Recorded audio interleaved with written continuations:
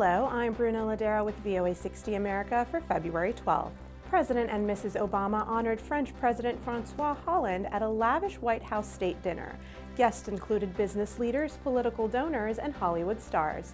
The event capped two days of meetings aimed at renewing the two nations' partnership. The southeastern United States continues to experience severe weather as the country's most recent snowstorm moves up the east coast.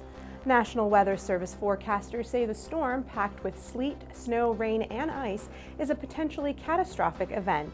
The Obama administration is banning the commercial sale of ivory as part of a comprehensive strategy to combat wildlife trafficking and poaching. Only ivory antiques 100 years or older will be legal to buy and sell. Officials hope the ruling will help save endangered elephants and rhinos from extinction. That's all for today. Thanks for watching.